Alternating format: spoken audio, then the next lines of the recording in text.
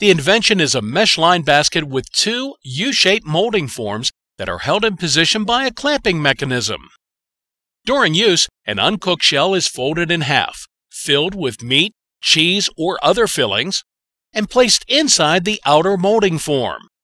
The inner molding form is then inserted and held in place using the clamping mechanism, securing the taco without spilling the contents during cooking. The invention can also be used to cook a shell without fillings. Each molding form has a handle that allows the taco mold to be inserted into and removed from the cooking container safely.